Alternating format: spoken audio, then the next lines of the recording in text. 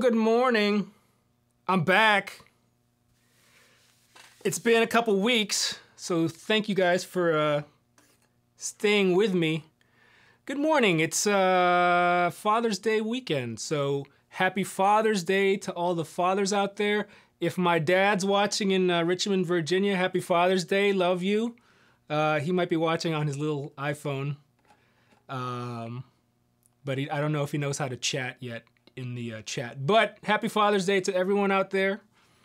Uh, first, I want to give a shout out to uh, Tony Tone Tones. Tunsky is legit, uh, who was here early morning.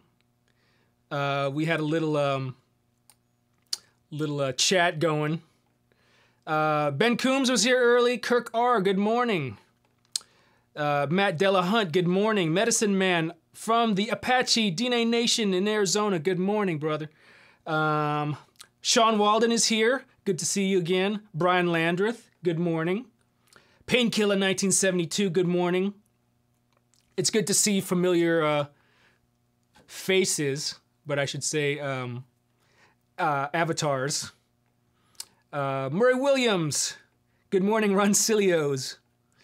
Uh, Rodora Perez, hey from Manila, ¿cómo está? Welcome. I don't know if you've been in my chat before, but uh, what is it there? Is it evening there in Manila? I don't even know.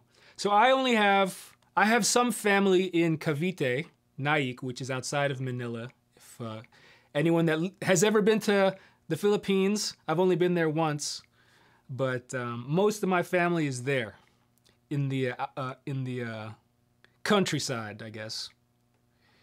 Um, who else is here? Um, Paul P. Man Howland, good to see you. Bam is here. David Lissuk from Bakersfield, California. IA. I love Bakersfield. Uh, Matt Harrison, Pete Bialk, what up? Lefty Mike, Neist Guy, Jacob Pacheco, hi. Enrico Durante, hi from Italy. Good morning, or good uh, afternoon there. Buena tarde? That's a little Spanish. Uh, BC Rich likes my Beetlejuice shirt. So my buddy, uh, I, have been getting a lot of comments on some of my videos that I've been wearing this t-shirt. So I have a friend named Jonah Nimoy, who's an excellent artist, but he's also an excellent musician. Um, he was actually, him and I were covering on the Stone Sour gig uh, last year. Um, he did the first half, I did the second half. Amazing guitar player, amazing drummer, musician, teacher, frontman. Um, I think he's actually on tour with The Offspring right now uh, as kind of their utility guy. But he's also a great artist, and he makes prints and T-shirts. He just had an art show recently in LA. Uh, but if you go to his, um, he's got an Instagram page. Trying to remember what um, what it is, but just look up Jonah Nimoy, and yes, he is related to the world famous uh, Leonard Nimoy. He, uh, he's his grandson, actually. So check him out. He's got T-shirts, he's got prints, he's got other th- patches, stickers for sale. Really cool artwork. I'm trying to remember. Uh, Boredom Sketches. Go on Instagram, Boredom Sketches. His name's Jonah Nimoy. John Hopkins is in the house. Good morning, John. It's been a while since I saw you. Thank you so much for donating to the, uh, okay, fun du jour. Uh, it might be tacos today, because I've got a little secret. I've got a friend by the name of Rhett Shull that's coming over after this, and we're going to do some talking for his podcast. So I don't know. There might be lunch. There might be tacos involved. But uh, thank you, John Hopkins. Uh, hey, I saw Kenny Wayne Shepherd and Buddy Guy on Thursday. Awesome.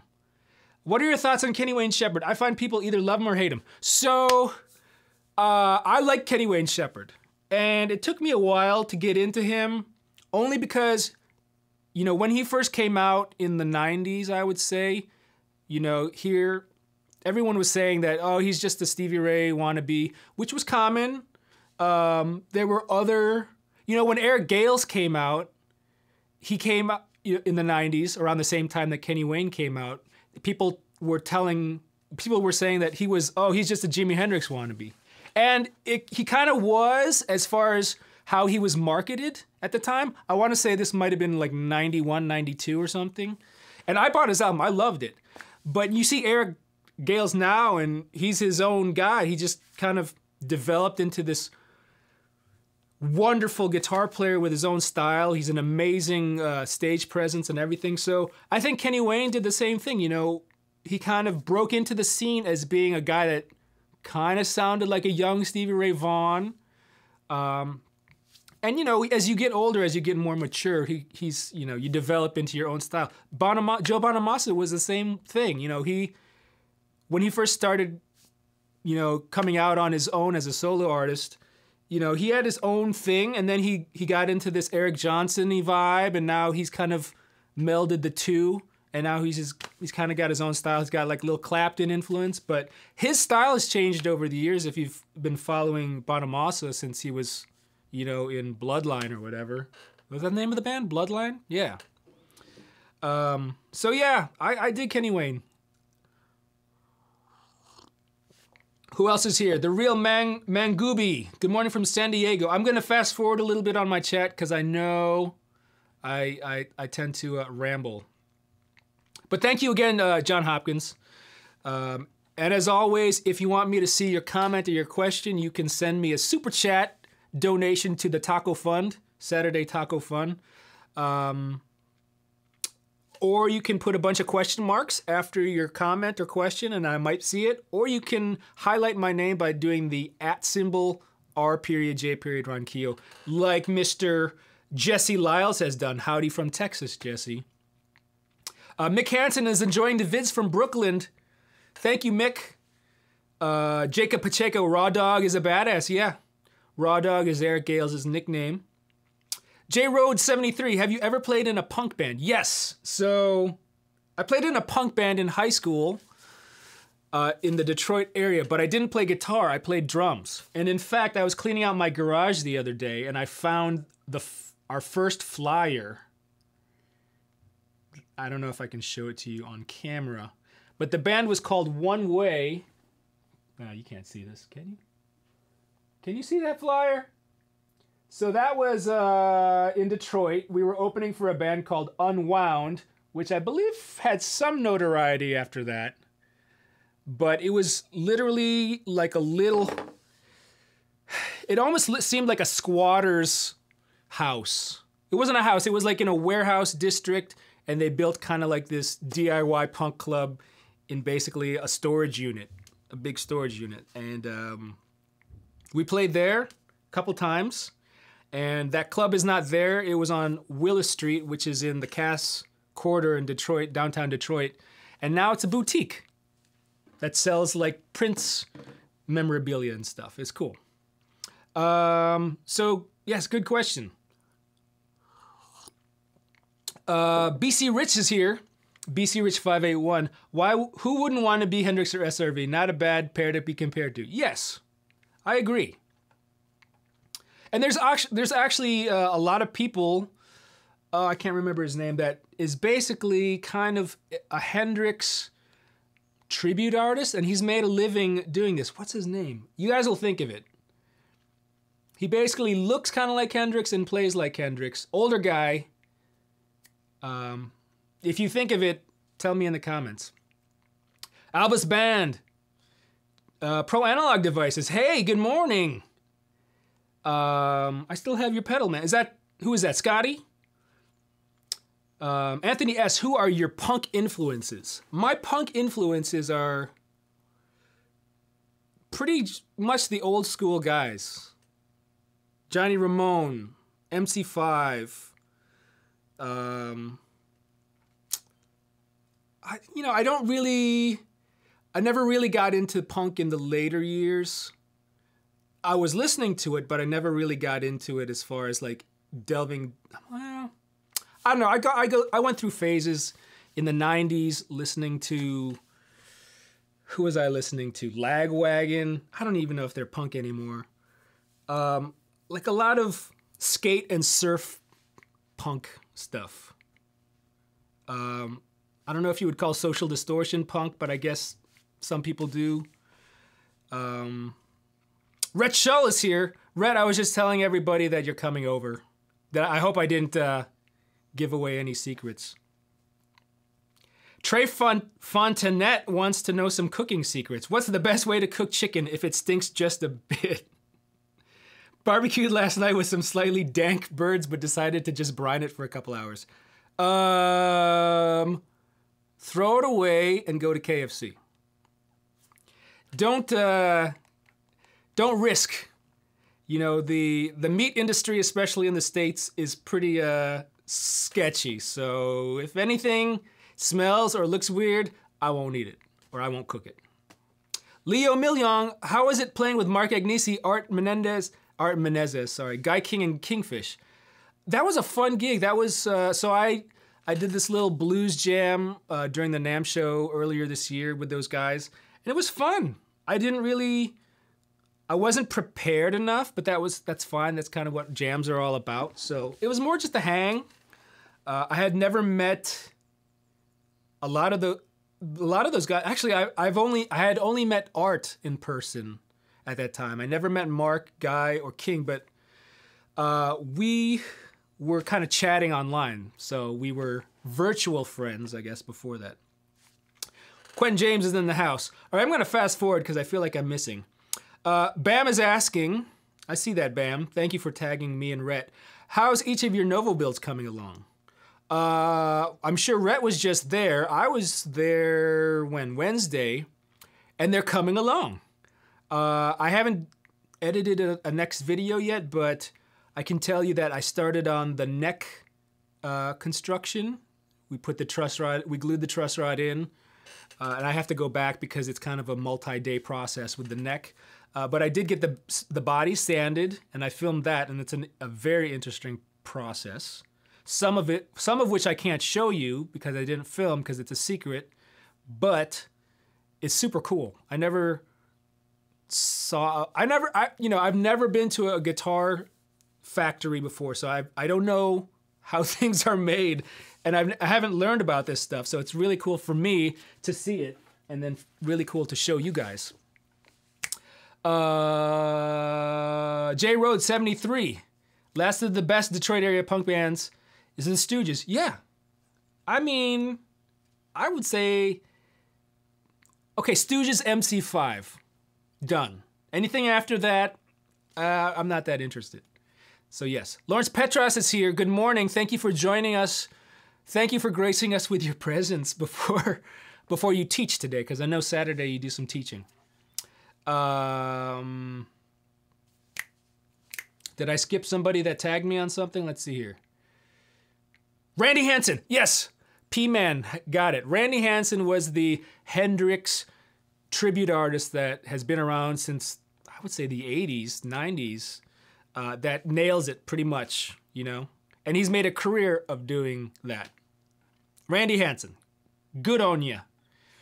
Uh, okay, I see. I'm gonna skim through some of these questions, so if I miss some of them, I apologize. But you can send me a super chat.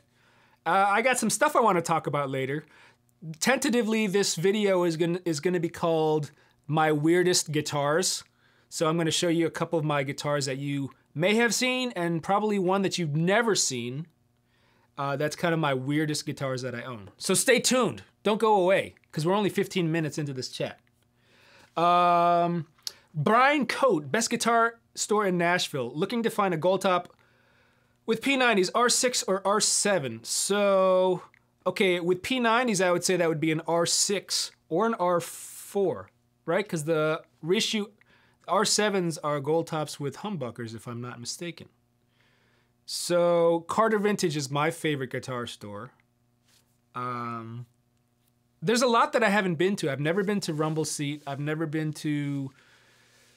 Uh, there's another one. But between, if you're thinking between Carter and Gruhn, I prefer Carter, but that's also because I know some of the people that work there and they've been friendly to me. And I feel like it's a little more, they have a lot more inventory out in the open. Gruhn has, Gruhn's has a lot of great rare stuff, but it's locked away that you kind of have to make an appointment to see. And it's a lot of stuff you can't afford. I mean, I can't afford it. But if you go to Carter, they've got like you know a range of prices. They've got new stuff now. They sell like new uh, Revolta guitars, um, and a couple local builders as well. But so they have new stuff that's moderately priced up to like you know 59 uh, Sunburst Les Pauls and stuff. So and it's a cool place to visit. It's just even just to look and walk around. It's really cool. So Carter. Uh, Rhett says his build is going well. Can't wait to see the Rontilio. Me neither. I think uh, we um, when I left, Dennis and I were talking about colors. So we're tr- really trying to nail this Rontilio thing. So I sent him a, uh, my water bottle and my phone case, and they kind of look similar, but this is slightly greener and this is slightly bluer. So we're going for something in the middle and with a little bit of a surprise. It's not going to be just, you know, bright teal. It's going to have a little bit of, little bit of flavor in there. I think I just spit. Um, I don't know. Mine's. I think once the color, once the paint is done, it's going to be pretty much bing bang boom, almost done. So I think Rhett's and our and my guitar are going to be done around the same time, which is coming up in the next. I would say, where are we? June 15. Within the next couple weeks to a month, I would say it should be done. Um, okay, some more questions, and I'll show you some of my weird guitars. Um, Bam Mozzie says maybe a double jam session. Yep, that'll happen. If you're in uh, in town for the summer NAMM, uh, we might be doing a get together and jam and with our new guitars, kind of like a uh, a little Novo hang. I'm not sure if it's open to the public, but hit us up. Maybe we can get you in. Um, Bach Talk 55. Which Eastwood guitar is your favorite? Um, it's been my favorite forever. It's the uh, Eastwood Tuxedo. It was my first one, and it's kind of like the one I always say, this is my favorite Eastwood. And it still is. There's a ton of great Eastwoods that uh, are coming out. I, I don't know if you follow Eastwood on YouTube, but they just released a couple more videos that I did. And one of them, I don't have, yeah, I returned it, but it's, uh, you remember that Robben Ford model that Fender put out? It was like the Esprit Ultra. It's basically like a double cut solid body, but it almost had this weird offset 335 feel. Uh, they're putting Eastwood is putting out uh, their version of it, and it's like 500 bucks or something, and it it plays actually really really good. Uh, made in China. Um, you just kind of have to tweak the guitar a little bit to play well, but it sounded great. So if you're like a big, the only thing that I didn't like is it only came in one finish, which was like a cherry burst. I think the original Robben Fords had just like a like a standard sunburst or a tobacco burst. Uh, so I wish they would have had a secondary paint job. Maybe in the future they'll have a, another paint scheme for that model. But it's a cool guitar, and it's 500 bucks. Uh, but check that out on, on on Eastwood's YouTube channel. Tim Farnsworth, good morning from Pismo Beach, California. I'm jealous. I've never been to Pismo Beach, but I hear it's really nice. Um, okay, Tony Tones wants me to do a, a, mixed surf green Daphne blue, like on Tom DeLonge's Strat. I feel like Tom DeLonge's is a little on the green side. I just want this vibrant. I say neon teal, but I just want this this teal that that totally jumps out. I mean, obviously, if you're colorblind, you're not going to see it, but you know, for the non-colorblind people, this teal that kind of just like burns your eyes. Same with this neon pink pickguard. I spit again. Same with this neon pink pickguard that I want. I just want everything to pop and be like annoyingly colorful and contrasty. So that's the goal. Uh, Bam is in the UK. Whilst he'd love to be at Summer NAMM, uh, it's an uh, incredibly unlikely. Hope you record a video of it. We will. We'll record lots of videos. Um. Okay, Novo Bash, Rhett Shull. That's what it's called. Is that what we're titling it called? Titling it Novo Bash. Novo Fest. Um. Okay, so I'm gonna let you guys chat amongst yourselves, and I'm to talk about the weirdest guitars I have. Uh, this one you've probably seen in some of my older videos. Um, this is a Hallmark. What is this called? Stradette. This is quite possibly the ugliest guitar that I own, but it's so ugly that it's it's cool. And it sounds phenomenal. I mean, look at this. This is not even an F hole. This is like a Z hole. Right? It's like a Z. Um, so the story behind Hallmark guitars, if you've never heard of Hallmark guitars, uh, Bob Shade, who's in New Jersey, uh, basically licensed the designs of of Mosrite and some other designs, but he also I'll get to some other designs that he has in just a minute. But this was originally designed by a guy in Bakersfield um, named Bill Gruggett. And I believe, and don't quote me on this, uh, and I think Deke Dickerson knows way more about this, the history of this guitar. But um, Bill Gruggett, I believe, worked for Semie Semie Moseley uh, and did some designing as well. Uh, Semie Moseley, of course, is the guy that started Mosrite Guitars. Mosrite Guitars, if you've ever seen The Ventures, um, Johnny Ramone, um, Kurt Cobain mo- used Mosrite guitars. Um, really cool guitars. So Bill Gruggett made this design. I'm not sure if he was working for Mosrite at the time or this was one of his designs that he did after he left the company. But this is the Stradette. Uh, I can't really comment on the body shape. It's really freaking weird. It's like thicker up here in the horns. Um, and it's got this like violin cutaway. It's really obnoxiously ugly. Who? Let's see. I hope it has a great personality. This has a great personality. Um, it's a glorious kind of ugly, David France says. Yes. It's like if acid and guitar making had a baby. yes. Okay, so you're right. Uh, Matt Harrison, Mosrite Hofner mutation. Uh, Tony is asking the the neck looks super skinny. Yes, it is on the skinny side. I don't know if you can you can't really see. It's not uh, obnoxiously skinny, but the the design. You know, this is like the Mosrite Sandcast tremolo, which is one of my favorite vibrato systems. More than a Bigsby, more than the Duesenberg. It's just something about the feel of this particular vibrato system. But it's got the zero fret. This one has a, a, a graphite nut. Um, I think usually Mosrites have like a, a metal nut. Um, but here's how it sounds.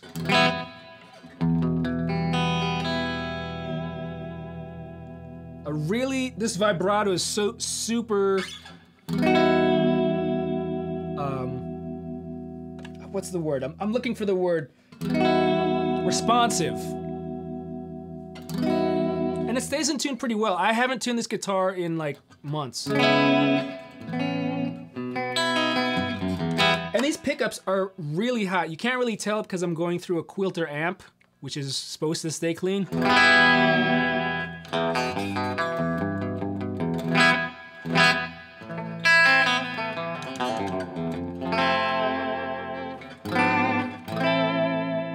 gonna shut off the mic and just play a little bit for you.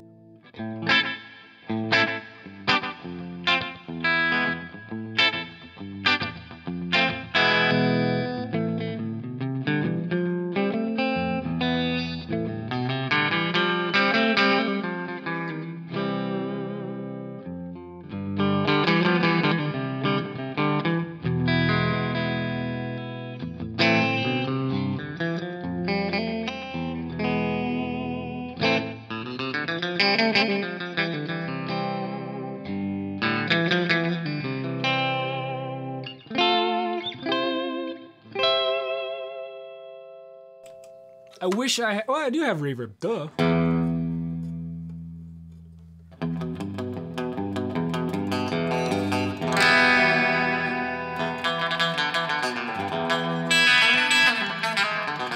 So it does have like a, a, a Jaguar Jazz Mastery vibe. But this was never like a surf guitar. This was almost like a country guitar.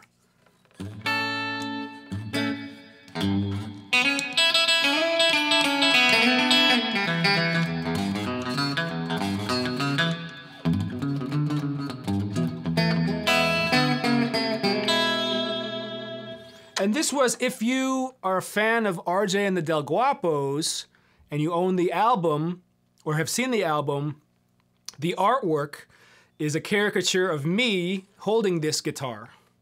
Just because it's so funky, I had to put it on the album cover. So this is kind of synonymous with uh, RJ and the Del Guapos. So this is probably the first weird guitar that I've got. Um, and I have a couple hallmarks, and they're all kind of weird. But I'm going to show you. Are you ready for this? This is quite possibly the weirdest guitar I own. And I can almost guarantee that I've never put it in a video. I might be wrong. Are you ready? What the frick is this? Okay, we can talk about this. This is and also this is also a Hallmark guitar. This is the limited series Red Baron guitar. So Bob Shade is not only a guitar builder and designer, he also does pedals, but he's also really into hot rods. And this was uh, inspired by the Red Baron hot rod car, um, which I don't know much about. Um, he, he, he did give me some paperwork, but uh, I forget the guy's name that designed it. But this is kind of a piece of piece of work. Oh, what the heck? it's not a Nazi thing. This is just like um, based on a hot rod um, design. So, this, the symbol of your biker gang. This is just one of those, what, Iron Cross? Is that what this is called? Uh, but if you look closely, some of the accoutrements on this guitar, it's got these knobs that are actually like rubber wheels from like a, a model car. It's actually rubber, and it's got, you know, the the wheel itself is got that iron cross motif as well. And then check this out. This is a rotary pickup selector that's got like this badass. Can you hear me? I'm like not talking. It's got this badass skull. It's a five way, so I'll show you uh, what it does in, the, in just a minute. But this is also Hallmark's first guitar that has humbuckers. So you can actually do a little bit of metal. Um, the truss rod cover is like one of those helmets, German Bismarck, whatever helmets. Um, I don't know much about history and all that stuff, but um, it's cool. It's got this uh, red, sparkly finish. Can't really tell. Um, same vibrato that they always use. This one actually does have a metal nut. Uh, and the uh, jack is in the back. The jack is in the back. So I know you guys are so are dying to hear how it sounds. Me too, because I haven't played this guitar in a while.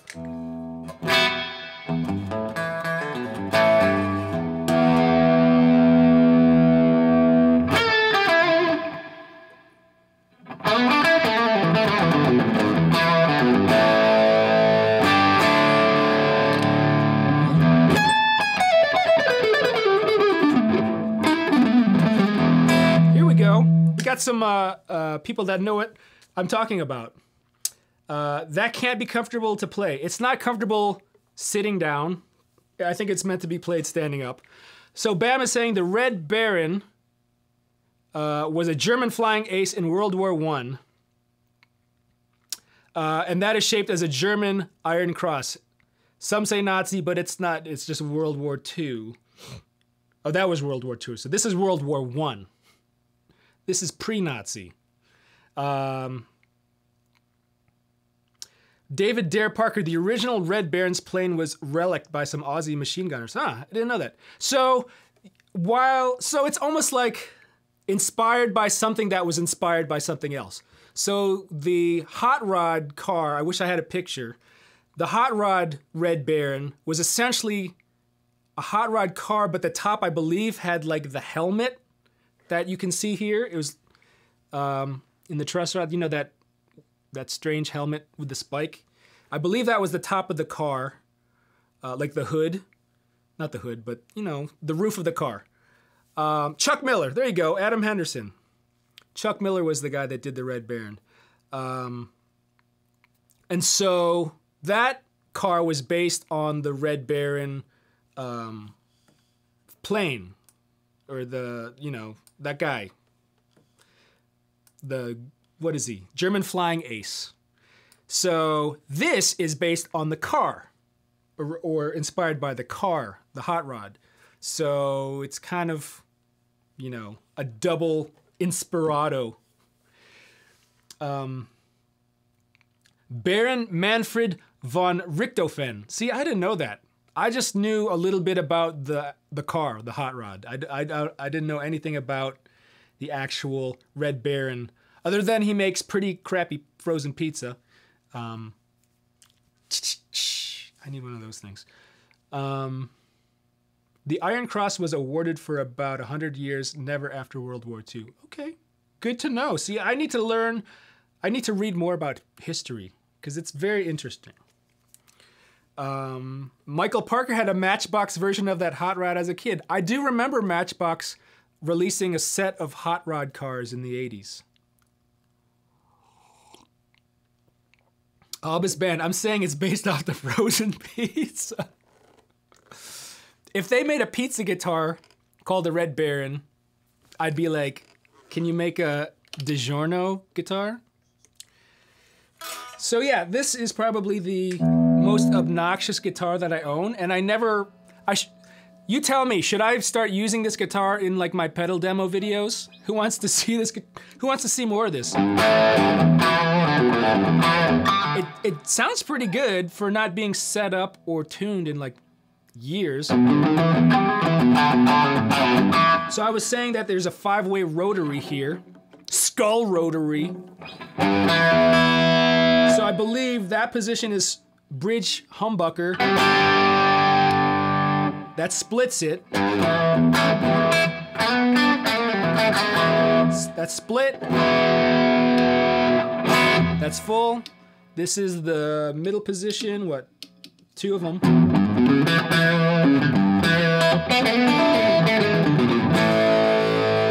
This is the neck pickup split. Full humbucking.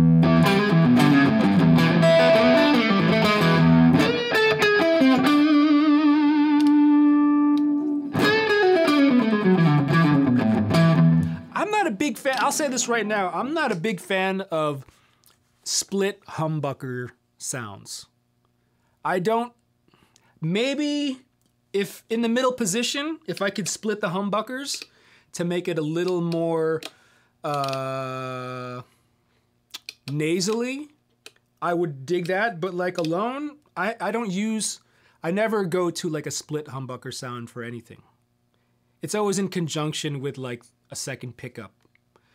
But I, I, I don't know. What about you guys? Do you guys uh, ever play with your split humbucker sounds for anything? Maybe I'm just not using it right or the way other people are using it. Um, okay, I think I missed a couple comments that looked interesting or questions. Uh, Omri, Omri Cohen, if you're still here, I see your question. Can you talk about your jazz influence? Sure, I'll talk about my jazz influence. Uh, I started getting into jazz uh, probably when I was 13, so maybe three or four years after I started playing guitar. Um, and it was I want to say it was more because I thought if I learned, like many people, I thought if I learned how to play jazz that I could play anything, which isn't necessarily true. There's definitely some theory that you learn that you know you don't learn in any other style. But the misconception that, oh, if I can play jazz, I can play anything, that's totally false. Um, if you can play jazz, you can play jazz. It's great. And you might be able to interject some of that, uh, the jazz vocabulary into like a blues or whatever, or rock, or learn fusion. But, you know, just because you, you learn jazz doesn't necessarily make you a better player necessarily, a better musician. It just, it's just more information that you know. So uh, my early influences were probably, uh, you know, Wes Montgomery. Who did I listen to? A lot of new guys. Like I, I, I bought like a Pat Metheny album early on, and I didn't really understand it musically. It was just shredding. Like I like the shredding solos that he did, which you know Wes Montgomery didn't do necessarily or in that type of style. But um, like early George Benson, like uh, when he was a young kid, those are great records. Um,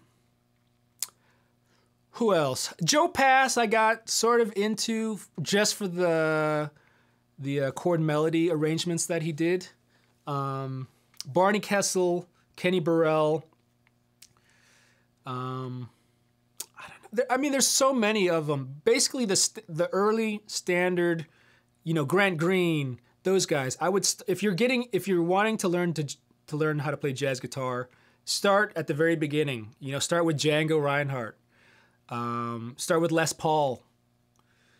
Um, and then kind of go in a line. You know, go how it is. You know, 30s, 40s, 50s, 60s, and kind of explore that route. But um, yeah, and if you're playing jazz, awesome. Good luck. It's a, it's a long process, but it's very satisfying, and it's it's so there's so many things to learn um, about jazz that I'm still learning every day. So I see uh, somebody left me a uh, Dietrich. Good morning, good afternoon. Thank you so much for your taco fund money. Uh, what what was the difference between the Palo Verde fuzz and the JHS foot fuzz. For me, JHS pedals have very low noise. Uh, I would say the Palo Verde fuzz has low noise. I don't have it. Do I have it available? I think I put it back there. Um, I want to say, you know, I, I never really did a direct A B comparison, so I'm only kind of going by what I remember the JHS mini foot fuzz sounded like. And I want to say that they were totally two different sounds. I could be wrong, but um, the Palo Verde fuzz uh, is exceptionally awesome. As is, and I'm not just saying this because uh, Lawrence is probably in the chat. Are you still here, LPD? But every pedal that I've demoed for him, I've dug and I could I've found a way to use it. They're all usable for me, which is kind of hard to um, find in a lot of pedals, especially when you get into overdrives and distortions, because a lot of them do the same thing just in a different way. So I could get by with any of those, but there's a lot of cool qualities. Uh, and, and I say this about every pedal that I play. If I can dial in an awesome tone within a minute, two minutes, then I like the pedal. That's it. You know, it doesn't have to have a lot. In fact, any pedal that has a lot of knobs, I'm instantly not attracted to. Um, it's just something, and that that goes with every gear, guitars, amps. If I can get a good sound, if I'm immediately, you know, impressed with the sound or the way it feels, then I like it. You know, I don't, I you know, if I have to spend a week with a guitar or tweaking it to get it to where I want it, then forget it. It's it's gone. And I have a guitar like my 70s Strat if you've seen it, the black one. I've changed the pickups out. I've got it refretted. Um, what else have I done? I've changed the tuners, the the bridge saddles. I've done a bunch of stuff, and it's net and it hasn't gotten to where I, I really love it. So I feel bad to sell it because I've done so much work on it, but it might be one of the ones to go. It's an awesome 70s Strat, but I just I guess I'm not made to play those guitars. Uh, so good questions. Uh, Stubblefield, uh, thank you. The Palo Verde. I've got some more LPD demos that uh, Lawrence doesn't even know I've I have. I haven't even showed you, Lawrence. But I, I got them all. Even the ones that he won't let me show you because they're secret. Um, Braxel is asking, do you like the Analog Man Sunface? I haven't played that pedal probably since the early 2000s, and it was more like I heard a friend play it. So I can't really comment on that pedal. Um, it's been a while, and I, I don't even remember what it, it sounded like.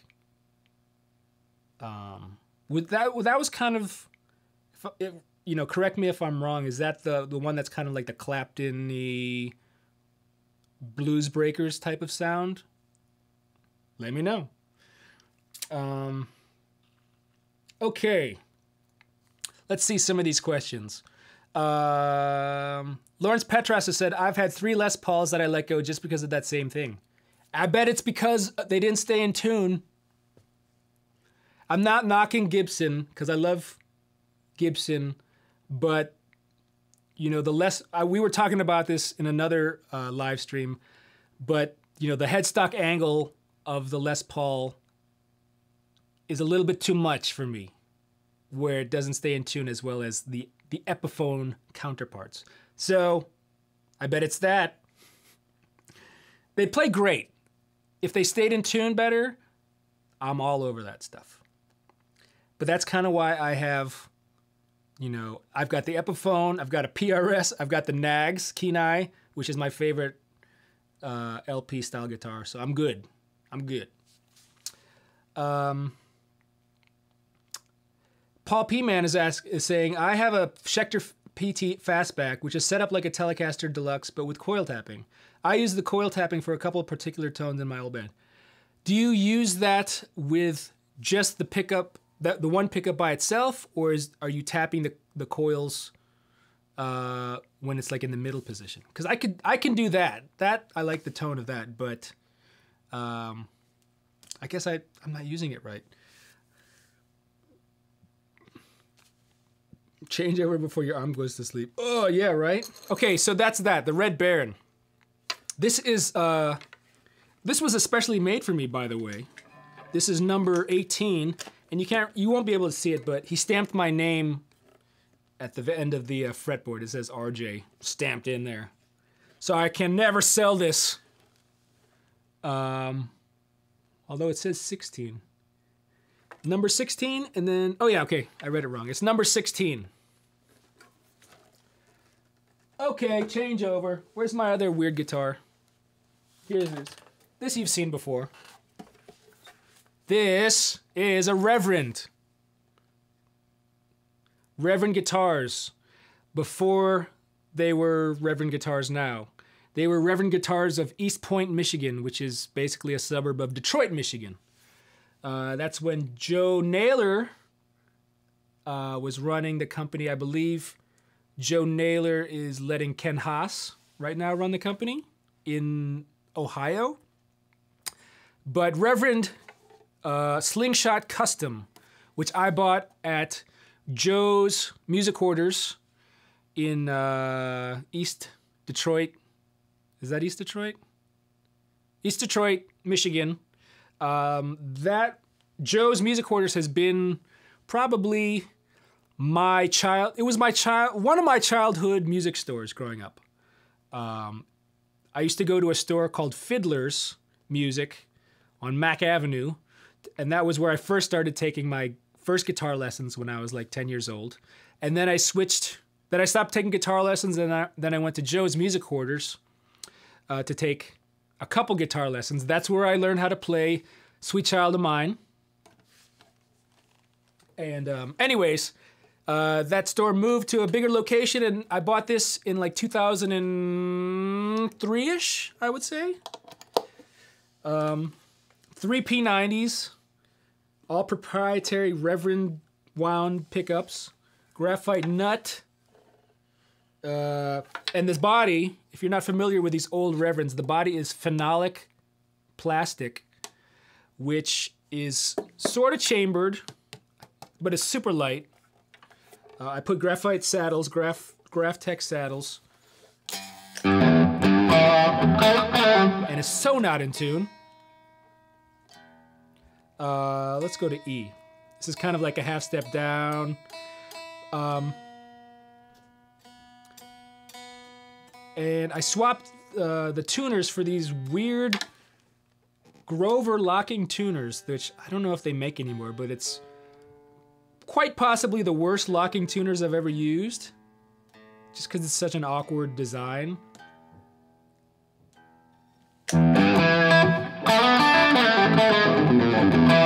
Sonic Solution says the Unknown Hinson plays a Reverend. Yes, he was one of their first um, artists, if I remember correctly. I can't remember the model he was using. But the Reverend design, you know, Reverend Guitars has put out so many different designs over the years. They don't make a phenolic body guitar anymore. Now they're making regular wood body guitars. I believe they're made in Korea. But this was all made with Detroit hands. And this guitar's been all over the world.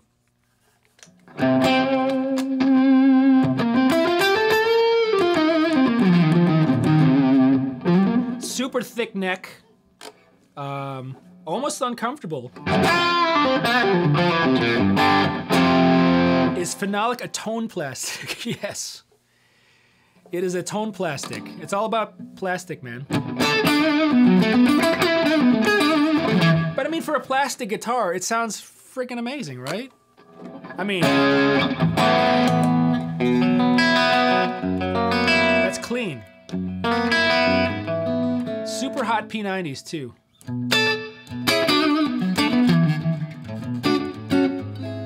I have found that it's pretty uh, weird depending on what kind of amp you're running through.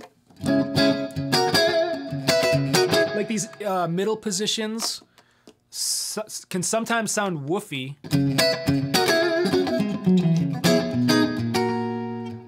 With an amp that doesn't have like a lot of mid-range, so like a Fender Deluxe Reverb or something. You need something with a little bit of mid-range oomph. Such as this um, LPD Anasazi boost, which I love because it boosts the mid-range in a certain frequency that I really, really like. So here, I guess this is a demo now for LPD's uh, Anasazi pedal. This is without the pedal, straight into the quilter. See how it's kind of woofy in the low end? If I click on the Anasazi boost, it automatically kind of drops down the low end and tweaks the mids. Sounds like a strat now, right?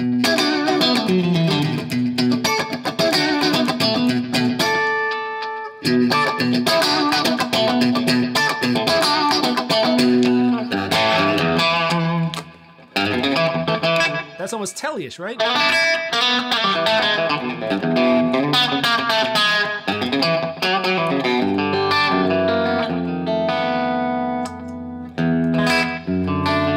And this was before that uh, Reverend put the uh, bass contour.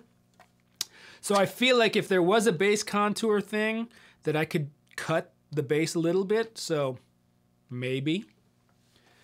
Uh, Paul Cartwright, good afternoon. Where are you, man? It's morning where I am. Um, let me get to some of these questions I saw. Stephen Poteet, thank you so much for your donation. That's going to the Taco Fund. Extra guacamole. Um, did I miss any other super chats? No. Okay, I'm good. I'm good. Uh, who was I talking to? Paul Cartwright. Hello. Um, someone was asking me about pickups. Oh, Tim Farnsworth. Sorry, I got your question here. Uh, do you like the Reverend Revtron pickups? I don't really have experience with those. Do they have a natural grit to them, or th can they get clean chiming sound split? I couldn't tell you. I don't. I haven't really played a lot of the new Reverends, um, so I'm not familiar with those pickups just yet. John Hopkins, I could pluck a broom and make it sound good. Thank you. That might be my next video idea. Um, uh, Daniil Kuzmichev. Hey RJ, not sure, but guess you guess you've said about working with Epiphone guys or something. Am I right? Um, early talks about working with Epiphone as far as um, promotion overseas with them, but it's really it was just really you know a brief talk. We haven't really gotten further about it just yet, uh, but I will let you know what happens with that. Matthew C. Good evening from Singapore. Oh, I've always wanted to visit Singapore. I watch so many cooking shows and travel shows that go to Singapore, and I just want to go there to eat. Um, I've been through the airport and bought a $22 Singapore sling at that airport. But um, uh, if you had to choose an envelope filter for R&B Neo Soul, which would it be? Oh gosh, good question. What is a great envelope filter that I've played? Um, I don't own a ton. I mean, you know, the Mutron biphase is kind of the standard, but it's big and bulky. I used to have one, but it was so big that I it was kind of too big to travel with. Um, check out check out Solid Gold Effects. They have one called the Funk Lite. They have a bigger one, and then the smaller one is the Funk Lite. It's pretty simple to use, bare bones, and I don't think it's that expensive. Uh, small size, regular size pedal, but it sounds pretty close to a Mutron to me, and it's it's easy to set. Um, I want to say that, that they have another one that does envelope filtering. Oh gosh, I'm blanking. I've done so many pedal demos in the past couple months that um what was it? I want to say oh um Crazy Tube Circuits Viagra Boost. It's a boost pedal, but there's a um, like a switch that makes it do um, an envelope filter, which is weird. I think maybe they just kind of found it on accident. But check out that pedal as well. Uh, I see you, Stephen Poteet. Thank you so much. Uh, extra taco money, bro. Thank you so much for helping me out the week before last. Sorry I missed our last week, but wanted to kick this for helping decide on mini humbuckers versus singles and a strat. Hey, let me know what you got or what did you decide on. Thank you so much for that. Uh, the taco money. Uh, last week we didn't have a, uh, a live stream.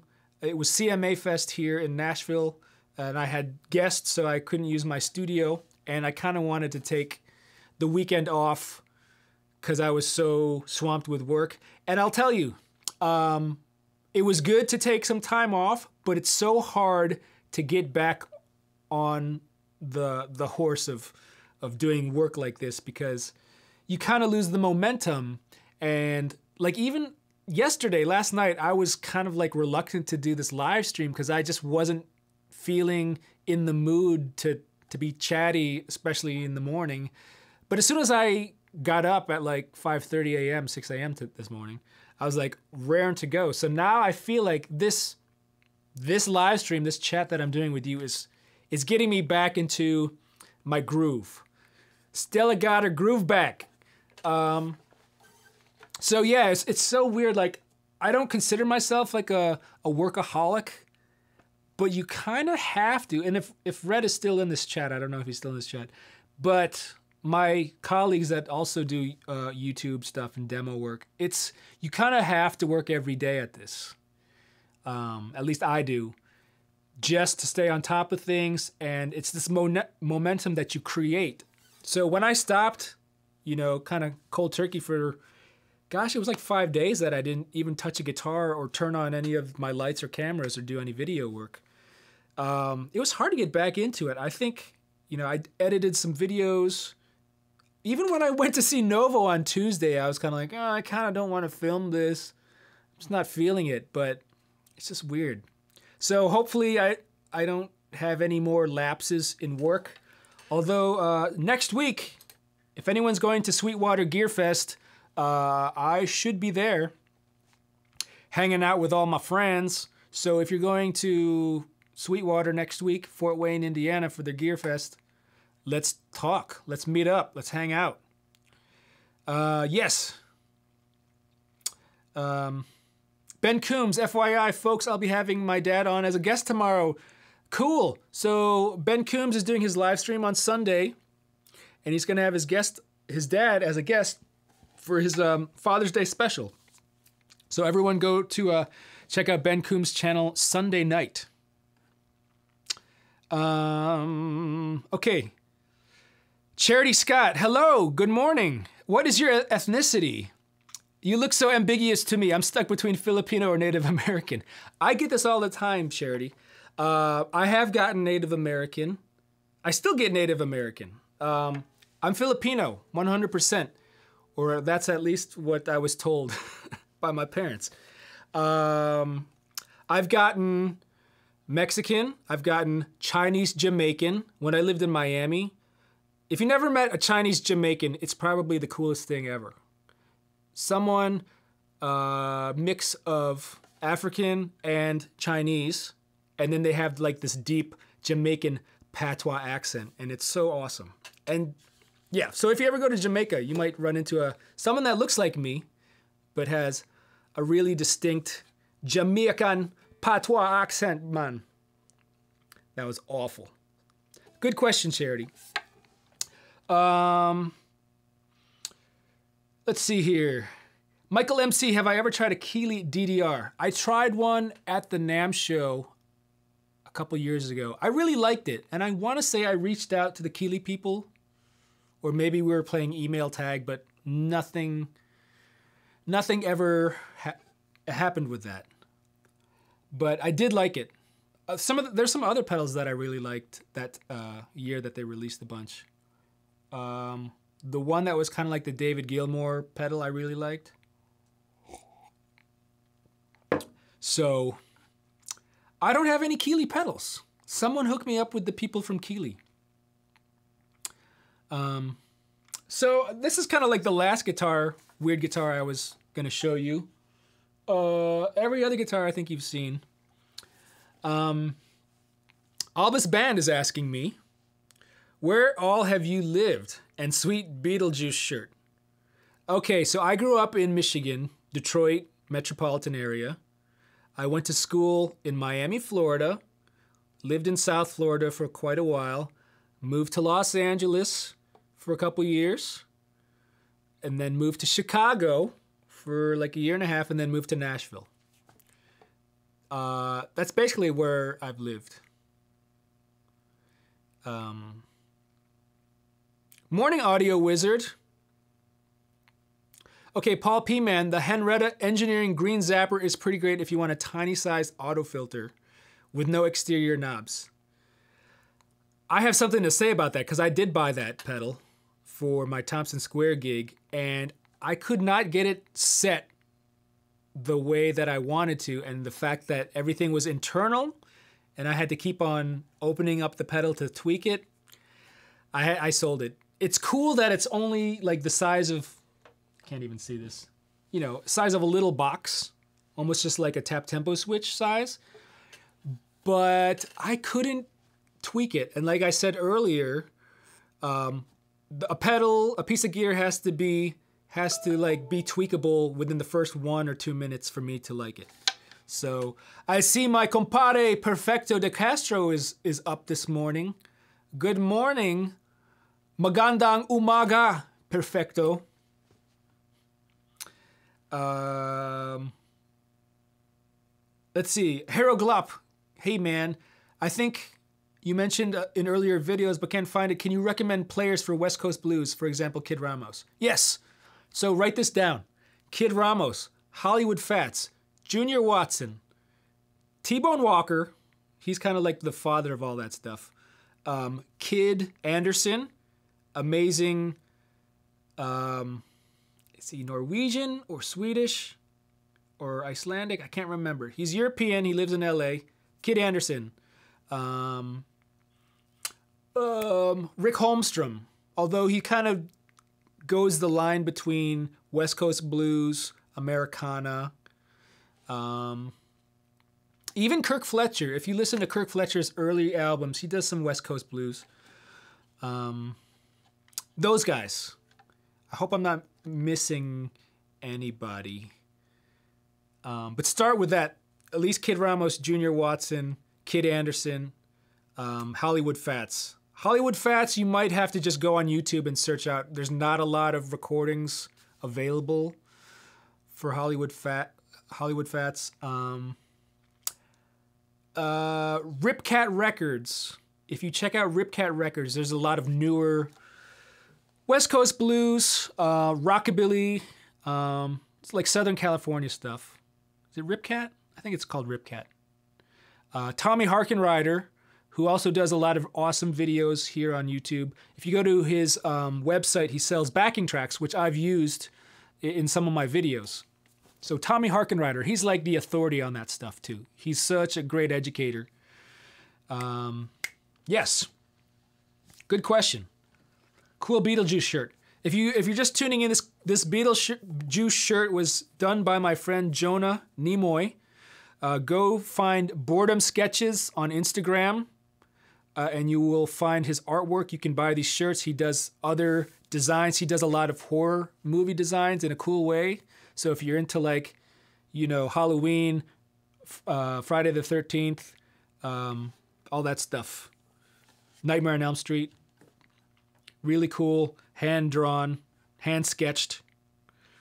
Um, let's see where we at 1002 i got about 20 20 30 minutes i know um, mr Rhett Shull is probably on his way in a little bit so i gotta get the place tidy for him Buck Tuck 55. If you want to eat adobo, that's the that's what caught my attention. You said adobo. If you want to eat adobo and watching some Filipino native dance music, you should attend the Grand Canoe in Yorktown, Virginia. Happens yearly on the last weekend of July. I didn't know that. I'm not sure where Yorktown, Virginia is, but I have family, lots of family in Virginia. So, uh, end of July, I'm not sure what I'm doing. If I'm available, I would love to check it out. Uh, Dad, if you're watching, keep in mind that uh, Yorktown, Virginia has the Filipino parties. 179 watching. Thank you, Ben. Um, this is a good Saturday back. It's been a while. I like to get back into my groove.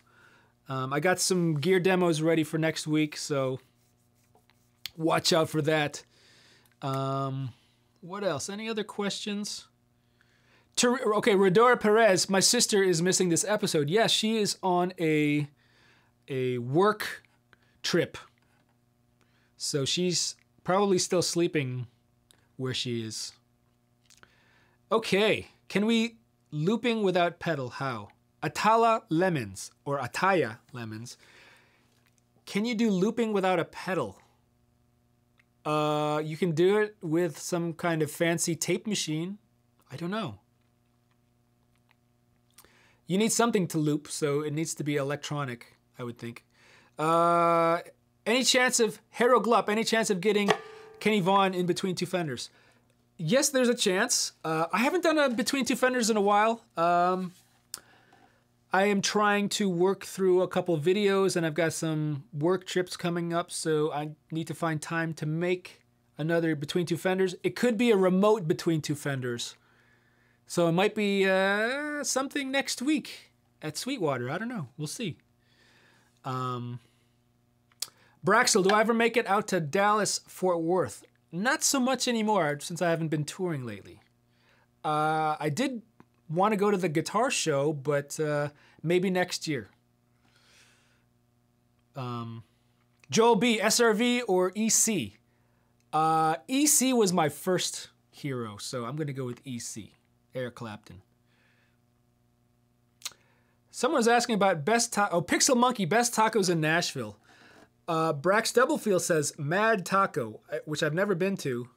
Um, best tacos I've ever had in Nashville. Man, I can honestly say I, I haven't had the greatest tacos. I've had good tacos. I haven't had great tacos. I want to say Probably the hole in the wall taco places in Antioch or off of Nolensville are probably your best bet, but that's if you like, you know, street tacos or like taco truck type tacos, which I do. Like the little little tacos with basically onion and cilantro thrown on. Everyone loves Mas tacos. Is that what you meant, Brack? Mas tacos? Um, it's okay. They're pretty good. I want to say they're a little overrated. If if a restaurant has a line, that's automatically a turnoff for me. And there's a way to you don't have to wait in line there. I know a secret. Well, it's not really a secret, but there's a way to avoid waiting in line for your food. Um, but they're good. They're not the greatest. Um, and that's because you know you know you're living in in Southern California for so many years and taking trips to Mexico, it's hard to beat those that quality of tacos, especially in Southern California. You, you know you can get great tacos from a little hole in the wall or a little taco truck, and it's like the best tacos you've ever had. Um, so I, I haven't really been blown away yet. I can tell you all the popular taco places that people talk about on Yelp in Nashville are just are mostly hype. You know, there's Bakersfield Tacos downtown. There's Mas Tacos. There's um, Bar Taco. Yeah, they're okay. They're good. They're not great. Um, let's see here. We're talking about tacos, and I'm getting hungry. Rhett Shull, if you're on your way, please pick me up some tacos.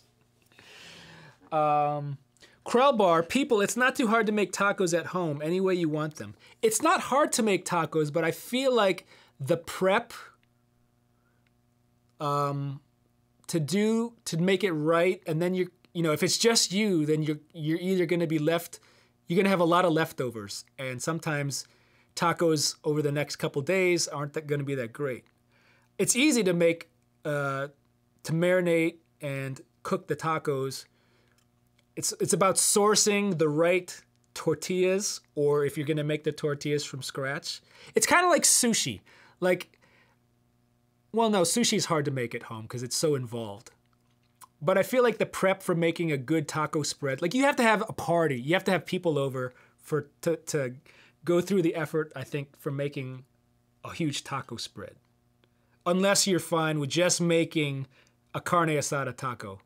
But if you want to have like a little bit of everything, sometimes it's better to go to a, uh, a restaurant so you can have you know, a lengua taco or or chorizo taco or you know something, a variety, as opposed if you were going to have a, a variety uh, at home, it's it's involved. It's a little bit of more effort than I would like to do. Rhett Shull, are you on your way, dude? No, take your time because I'm still on on on YouTube. I'm still streaming, buddy. Um, what did he say? A lot of the Nashville food scene is hyped up by all the bachelorette parties. You're probably right. That's probably a lot of uh, people that are in town for that are visiting that are making these Yelp reviews. So it's not locals. Um, I want to say all the locals will go to the hole in the walls, uh, you know, on the west side or off of Nolensville Pike in Antioch. So Someone's eating tacos, man. Uh, Alba's band. It's all about our tours in Chicago. Uh, have I ever been there? I don't think I ever been went there. I didn't go to a lot of taco places in Chicago. I want to say, wasn't there like a a weekly market somewhere down in um, what's that neighborhood called? where uh, the the the barbecue places. Oh God, I can't even I can't even remember these neighborhoods in Chicago. There's so many neighborhoods in Chicago um, that I can't think of. Anyways, RJ, let's do lunch today before our thing. Uh, that might have to happen because I'm getting hungry. This coffee is making me hungry, and I had breakfast. I had like a pretty big breakfast, but I'm all amped up and I'm ready. I know a good taco place. I know a couple good taco places by my hood. We could do that, or I can meet you there. Just text me in a bit. Can you imagine where this is a guitar channel and we're talking about tacos? You know, I do the the worst thing you could ever do, and I do this all the time, is I'll lay in bed, and I don't know if you guys watch. You're on your phone in bed, whether you're on Instagram, Facebook, or on YouTube. I'm on YouTube watching videos, um, and I'll watch food videos right before bed, and it's probably the worst thing you can do because I'll start getting hungry right when I'm going to sleep. So when I wake up, I'm starving, but like I'll watch I'm embarrassed to say this, but I've been watching this channel. He's got like 2 million, 1.2 million subscribers, but it's this guy that basically opens up old MREs, which, um, if you're not familiar with MREs, they're the meals ready to eat that they give all the, the soldiers. Um, and he'll open up ones from like 1899. I was watching one where he opened up an MRE uh, pack from like 1899, and I'm like, dude, don't eat that, don't eat it. And he he ate it. It was disgusting. He ate part of it. And um, so he he was I was uh, watching one. He opened one up from like 1992. It was like a ham steak and like potatoes au gratin from 1992, and you know, the way they're designed and the way they're packaged, they're supposed to last for apparently hundreds of years. So he'll open them up, cook them up, and, and eat them. And I'm just so intrigued by that. It's not the most appetizing thing, but I just, you know, and he's got 1.2 million subscribers. Millions of people watch these videos. So I won't watch like, you know, those food challenges or mukbangs, but I'll watch some guy eat, you know, canned meat from 1899 for sure. so, anyways, we're talking about uh, guitar, uh, food. We should be talking about guitar. I've got about 15 minutes. Any other questions or want me to play certain guitars I have? Pedals I don't really have. I'm plugged into my LPD stuff right now. The Anasazi Boost and a Kokopelli and my JHS Pink Panther delay.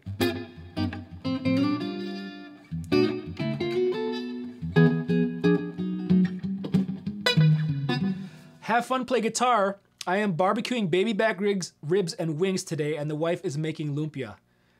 I'm coming over. Let me know where you live. I'm coming over. That sounds delicious. Mark FX watches that guy. The dude is funny. Yeah, it's intriguing. I, I subscribe to some of the stupidest channels on YouTube, but you know, I watch them and they're entertaining. Um, half of YouTube is for learning or as a search engine, and the other half is just pure entertainment for me. So yeah. Um, there's also a guy on YouTube that can down 10 pounds of food in seven minutes. If he's a young guy that looks half Asian that always wears a hat, I probably follow him as well. It's disgusting at some of the stuff he does. But he can do it. Like I, I won't watch like the the amateur food athletes, food athletes. I'll watch the ones that can actually like take down, you know, 30 in and out burgers and not throw up.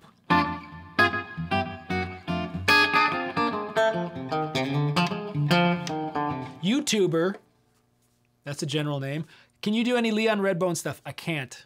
Unfortunately, I don't know any of the stuff offhand. I apologize. Um, Mickey Settlemeyer, I had enough MREs without watching someone else. I can imagine, man. Thank you for your service, by the way. Um, Evan Ward, contest eating is gross. Tell me about it. Have you ever seen a live con like eating contest. I so when I was touring with Thompson Square, um, we were playing somewhere in Texas. I think it was Texas, and they were having a tamale eating competition, and there was like two or three pros. Um, one was like a, I think she was an Asian girl. The other guy was, um, what's his name? I think he won Nathan's hot dog eating contest. Uh, Ch- Chester, what's his name? I don't know, but he he's like an award. He won a bunch of stuff, and I, obviously he won. But they were asking if anyone in our crew or band wanted to enter this, and of course, you know, a couple hours before our show, none of the band was going to do enter a tamale eating contest. But our guitar tech said, "Yeah, I'll do it." And so I was, you know, we were all watching and it was hilarious. I think he ate seven. I forget how long it it lasted. It might have been like 10 minutes or 5 minutes. He ate 7 and he threw up. But like um, the guy that won, whose name uh, I can't think of, um, ate something like 79. It's it was disgusting. 79 tamales. Um, but he was doing the whole thing, you know, you dip it in the water and doing, you know, that's professional. But it's also disgusting. I, I think he won $10,000 or something. So maybe financially it's good for him. Joey Chestnut, yes, Krellbar. Joey Chestnut is the guy that I watched win this tamale eating contest. I knew it was chest something. I was like Chester something. Yeah, Joey Chestnut. And then there was a a, a, a girl, and then there was another guy, and they were kind of like the three real pros, and the rest were kind of like hacks, amateurs, and it was disgusting, because you know you you know these people aren't made for this, so I could probably eat two tamales and be good. So my my friend that ate seven, yeah, it was gross. Um, have fun playing guitar. Are you in a band? Do you have your own band, or am I doing sessions? I think that's what you meant. Uh, not anymore. You know, um, if you're just following me now, I used to be a touring guitar player. Uh, I'm kind of taking the year off and I'm just concentrating on YouTube videos and gear demo videos and gear demo work. And that's keeping me exceptionally busy this year. Uh, do I do session work? I do. Uh, on occasion, um, I go through a website called soundbetter.com. So if, if you guys need session work, uh, don't hit me up now because I'm a little busy, but hit me up in the future. So I'll record at home as well. Um, excuse me. The Sonic solution, he'll need all that award money for his triple bypass later.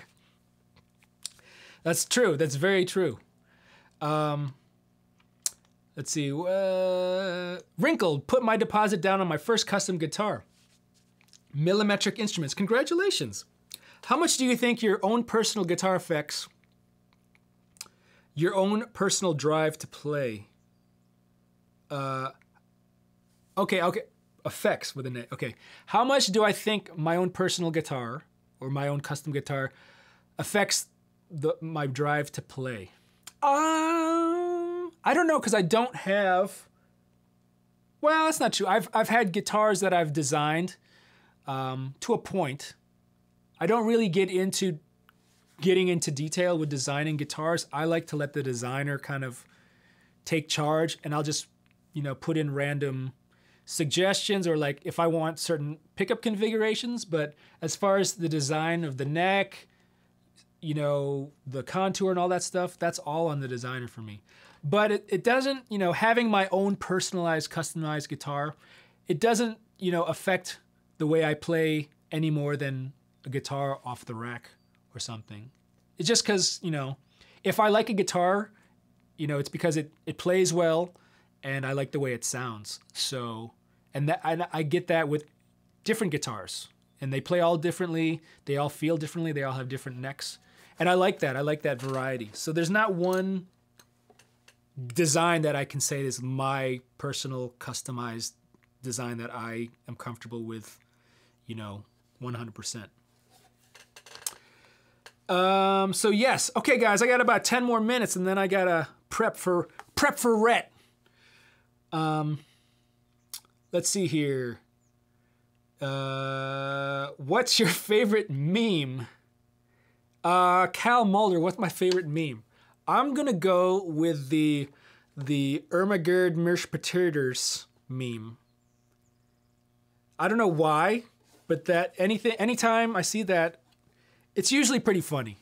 And I've I've made memes from that uh, photo before. Or what was it? Ermagerd Goosebumps. Gersbump? Gersbumps? Uh, yeah, that's my favorite meme. It's so stupid.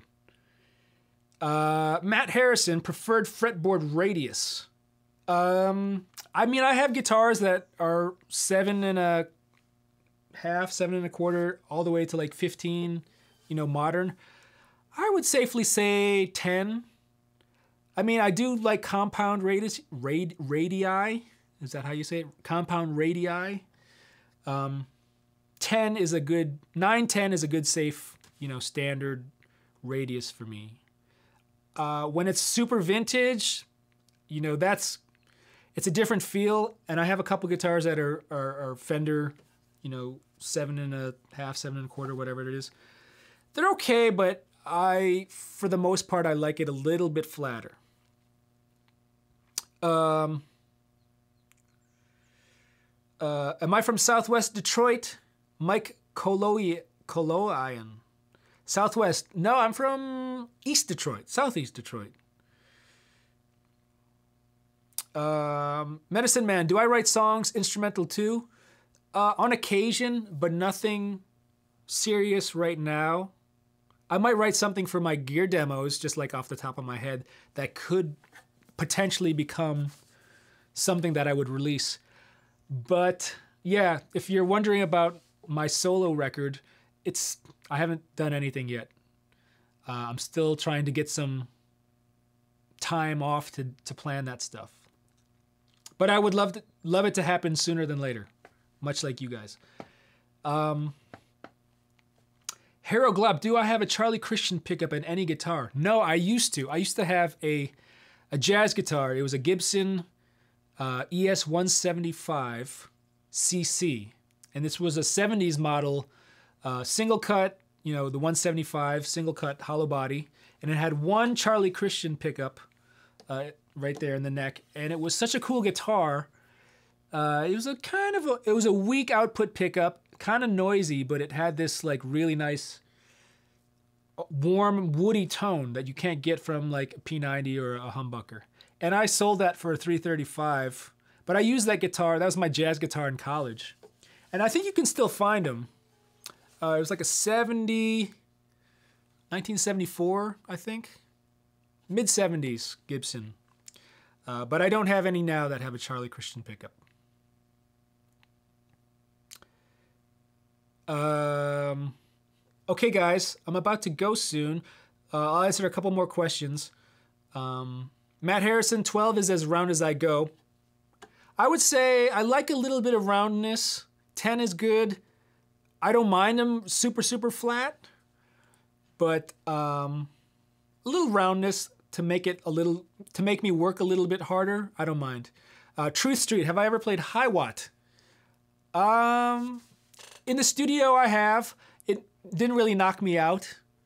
Uh, but then again, I didn't really have a, a, chance to really play around with them. And this was probably like, oh, 10 years ago.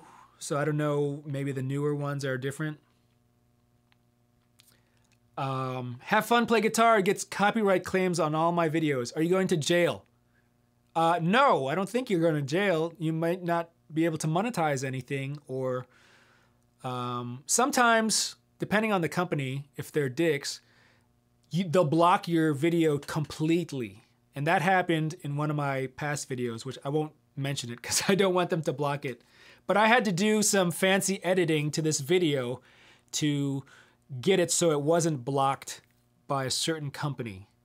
But it was weird. Like I kept on uploading it, and like within 10 minutes, it was like blocked in every single country by a certain company because I was playing a certain piece of music or showing a piece of video that they were tight ass about. So, which I won't talk about it just yet, maybe in the future. Um, Ryan Madrid, can I play Technical Difficulties by Paul Gilbert? Um, no. Did I? I, I learned it at one point many years ago, and I'm not even going to try to play it, but I love that song. Yes. Um. Okay. Norm is asking, do I have a headless guitar? Yes, I've got a Kiesel Allan Holdsworth that I still have. If you go check out my tour vlogs from last year in Europe, you can see it in action and you can see me talk about it. So check out my tour vlogs from Europe. Um, Krellbar, good question. Have I ever had a strike on my own original material? I know that happens has happened to some people. So, um, it wasn't a copyright strike. I don't really get strikes. It's just I get um, a pat on the wrist. But yeah, I got um, a, a, little bit of problems with uploading RJ and the Del Guapos material to my own channel because I used CD Baby to release my material. Technically, they own part of the copyright. So when I uploaded my own song video of my own thing, it was flagged because they saw it as uh, owned by CD Baby, and I believe I get I get money on the back end through CD Baby and not through YouTube. So I guess it kind of works out, but it was such it was so weird. It was like this is my own music. I own this music, and why am I getting flagged for making a video for my own song that I recorded? But it's because I went through CD Baby that legally they kind of are in charge of that stuff. Rodora Perez, thank you for that. Um, thanks for the videos. Better than watching a movie on a Saturday. Hey, I'm glad I made your Saturday morning uh, excellent. Th- my idea for doing the Saturday morning live streams is as like an adult version of Saturday morning cartoons. Remember how you would get up? I, I mean, if you are anywhere close to my age or older, um, getting up Saturday morning just to watch cartoons before breakfast or whatever. That's kind of that the excitement I want you guys to have. Uh, but we're talking about guitars and tacos. So, anyways, um, that's it. So I gotta go because I gotta uh, I gotta take care of my puppies, and uh, I guess I'm getting tacos because you guys donated so much to me for my taco Saturday morning taco fund. So thank you. Thank you so much. Uh, I got to run. John Hopkins. John Hopkins got to run. Um, and i am sorry if I missed any of your comments. If you have any more questions, just write them down in the comments section of this video uh, later. This uh, live stream, like all my live streams, are going to be posted on my channel, so you can always hit me up, ask any questions there um, and I'll I'll try to answer them as much as possible. Um, let's see here. Uh, I don't buy it until I see you try to drop an anvil on a road runner's head. What was I talking about? I can't remember. What were we talking about? Um, later, Tony Tones. Thanks for joining uh, early. Um, have fun play guitar. Todd Flowers. I'll see you, J Road 73 Tacos. Whoop whoop. The Ladyist. Thank you so much. Mike, Mike Koloyan. Uh, thank you for joining me. Krenar. Everyone join Ben Coombs' uh, live chat tomorrow. It's a special Father's Day uh, live stream. So happy Father's Day to everyone out there. I'm going to sign off. Uh, watch those videos on MREs. I forget the guy's name, but somebody link to his channel. Um, it's intriguing. All right, guys, I'll see you guys next weekend. No, I'm sorry. Next weekend, I'm going to be in Indiana. Visit me at Sweetwater next weekend. So, everyone that's going to Sweetwater Gear Fest, I'm planning on going, hopefully, uh, if something comes up, I don't know. But that's the plan. Hit me up on Instagram, hit me up here on, on uh, YouTube. All right, guys, have a great weekend.